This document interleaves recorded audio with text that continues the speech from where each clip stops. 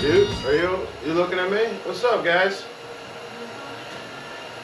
We're back for a glorious day. It's like 10 degrees outside. It's heating up. It's heating up out here in the garage. We're getting there. But we got some jewelry. These things are supposed to be worth like 20 to 40 horse, depending on application, blah, blah, blah. I have no idea. But I do know my other motor on alcohol, it would like to push the dipstick out of the uh, dipstick tube. So we pulled the dipstick out, put a vacuum cap over it, we put a Panavac system on that motor. And that all helped with it pushing oil out of the valve covers. We put different valve covers on it, whatever. Anyhow, this motor, we're doing something different. We're putting a vacuum pump on this motor. Uh, so this is not one of those high dollar Moroso pumps because well those are quite expensive for just a pump. You're looking anywhere from 700 to 900 bucks. This is a aerospace pump. I'm not partnered with aerospace.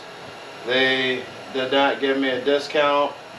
Uh, they did not help me in any way, shape, or form with getting this kit. But it's a really nice kit. It comes packaged. I mean, you got the pump, you get the fittings, you get hose, you get a catch can, uh, you get the mandrel for the crank. I mean, you get you get everything. So, uh, and they're reasonably priced for everything. Anyhow, that's what we're working on right at this moment. Um, we're going to try getting this thing mounted up on here, find a good way of fitting it all that good stuff. We figured we'd take you guys along for the ride. You guys interested? You want to come along for a ride?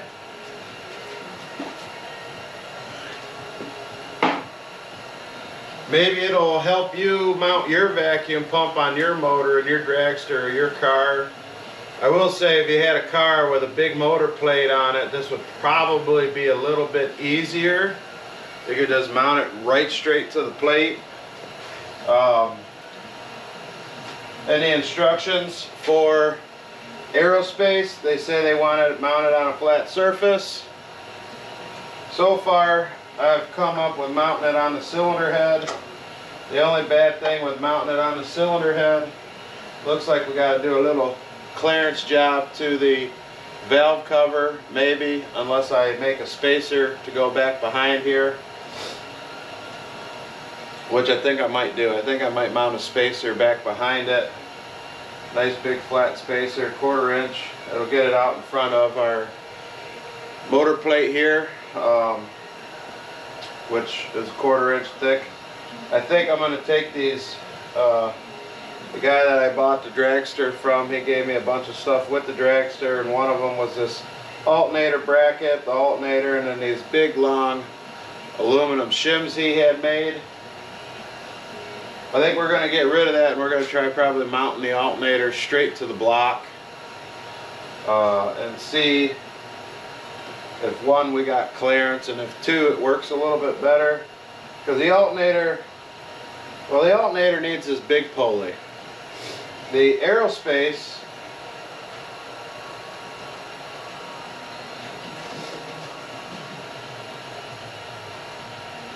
the aerospace vacuum pump gets this little pulley. Okay. Now this mandrel comes apart. You can hopefully see this maybe, we'll, but aerospace for the vacuum pump, it's got to get the little pulley because it's got a big pulley on the pump. So to spin it sufficiently and effectively and to pull the vacuum numbers that they're saying it'll pull, you got to have the little pump, the little pulley for the pump. So we're going to get rid of this one. It's a good thing I didn't Loctite those bolts in there. I just kind of put them in just to mock up the alternator. We're going to get rid of this mandrel, which also a guy gave me with the dragster. But we're going to get rid of this mandrel. We're going to put this one on there. We're going to set the alternator back. And then we're going to look at how to mount the vacuum pump. So hang tight with us. It's going to be a lot of fiddling, you know. We'll try to fast forward through some of the fiddling around stuff. Give you a little bit more of an end, end product. And uh, we'll see let's see where this journey takes us. All right, like I said, it's been a long, drawn-out process. If you look up on the Aeromotive website, the woman that drives the dragster that's sponsored by Aeromotive, they got it mounted up here on the cylinder head like this. So I went ahead and went with it. I know, it looks close down here by this water pump region, but it's not. We got a half inch of space or so in between the belt and the water pump there. We did have to make a custom little shim bracket to go in the back to space it off the block a little bit more due to the style of water pump I have. Not a big deal, but you can see it's on there, it's mounted on there, it's solid. We got the alternator on there. I did have to make some special shims for the alternator. And I don't you guys come over here and take a look. You want to look? Are you sure? All right, come on.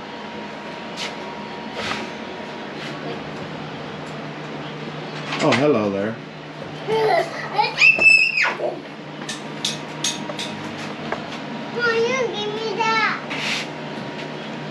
So yes, it's hard to see, but this is a plate that we made out of quarter inch aluminum. It runs the whole width of the cylinder head here. This is your tensioner or your slide for this thing. You don't you don't need much out of it. You just need enough to make the belt tight, right? So we had we had these things here that came with the dragster. The guy had made them to space the alternator.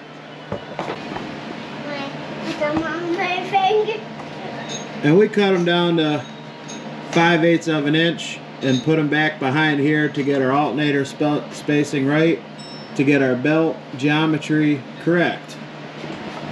Yeah. So, yeah, it, it, took a little bit of doing, which, you know, when you put a race car together, nothing just bolts right together. You got to make stuff, you got to be able to fabricate a little bit. And it helps having good tools when it comes to building race cars. You can get by with bare necessities, um, depending on all what you're building and what you're doing. So this is that. That is done. I have the other valve cover. I had to weld a, a bung in it so I could put oil in it. It's being painted right now. And then I had to drill a hole in the front of it to come over to the vacuum pump here. We got we got some help here. Look at this guy. Oh, where'd he go? Oh, there he is. Yep. See, he's he's trying to help.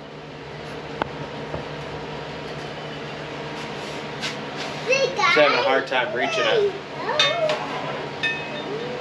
So that part's that, and uh, I mean, I'll show you the, the lines and stuff like that. And I don't think I really need to make a tutorial video on how to make AN line. That should all be pretty straightforward. It's a pain in the ass to make it, uh, especially when it's stainless braided, which is what we have. But anyhow,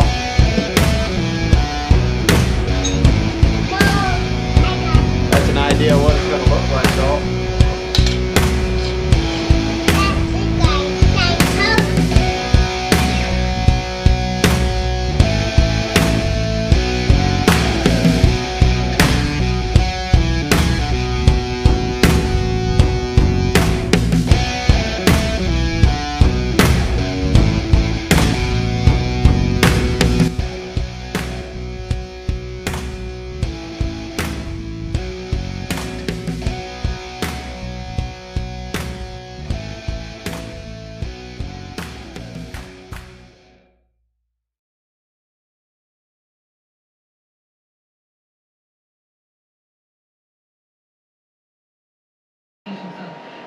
So here we go. We got a ending idea of how it's going to look.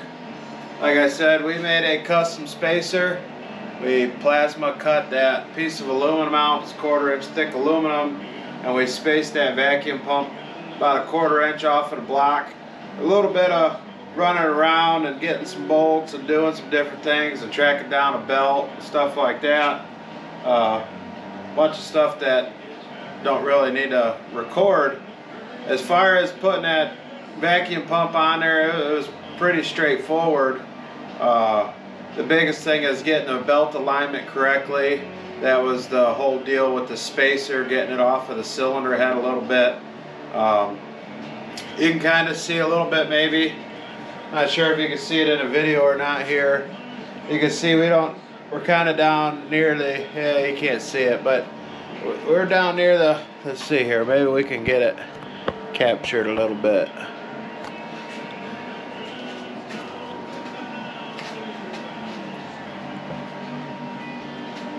You can see down there, we're kind of at the end of the adjustment a little bit, but that's okay because the belt's real tight. It's not touching the water pump. There's there's some space there. I mean, you can hardly get your finger in there, but there's some space there.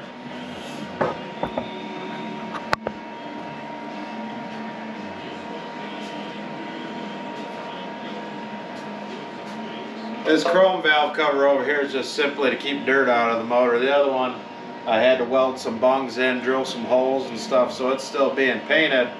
It'll look just like this one, except it'll have a fitting that that threads into up there. But other than that, this is what you got. Don't be scared to get out there, build something, cut some metal, drill some holes. Uh, we use those fancy hole transfer punches up there to, to stake them holes on that aluminum so we knew where to drill the holes. So if you got uh, if you need to do some hole transfer and you got threaded holes, instead of measuring and guessing and then having to drill the holes oversized because you missed a little bit, you just simply take your whatever size thread bolt it is, lob it down, chalk it up in a drill, take your grinder and just put a point on it, and then you can lay your piece of metal on there, hit it with a hammer, and there's your hole transfers for you. Uh, but this is Patten Performance Racing. We're tuning out for, for tonight.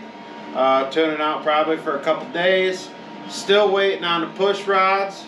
Uh, when those come in, we will go ahead and throw all the lifters in here, put the push rods on here, lash our valves, bolt the intake down for good with a gasket, and swing it in a car. Uh, I'm hoping to have it in the car here in the next day or two. Uh, we'll see. Uh, I was hoping the push rods would be here already, but they're not. Maybe they'll be here tomorrow. It'd be great if they are. If they're not, then oh well, we just gotta wait a couple more days. But nevertheless, check in uh, next time here at Patten Performance Racing. We always got a cool little tip, trick, or something for you. Hopefully you've seen a little bit, uh, you know, learned a little bit about one of those uh, uh, vacuum pumps they got there's different brand pumps out there. They're all going to be a little different the way they bolt up and stuff like that. Uh, you, you, really just got to play around with it until you get it right. There's really not much to it. Whether you got to space it a little bit or stack washers behind it, whatever you got to do. Um, your local steel uh, steel mill should be able to get you whatever kind of metal you're after, whether it's stainless, aluminum, carbon steel, mild steel, whatever it may be. Uh, you should be able to to track it down there. We got a local steel manufacturer not far from the house here that I go to to get all the little uh, steel uh, pieces and plates and tubing and square tubing and C-channel angle, you name it, they got it, right? Uh, you can even get lucky sometimes in Home Depot or uh, one of them hard hardware stores or something will have some of the stuff you need. Um, but that, that's about it for the night. This is Pat Performance checking out. We'll catch you guys next time. Stay tuned. Motor will be running as soon as the car is wired. Two months. End of February. Not even two months. About a month and a half. End of February. It's going hot with race gas. And then it'll be on alcohol after that. But anyhow, catch you guys next time. Thanks for checking it out.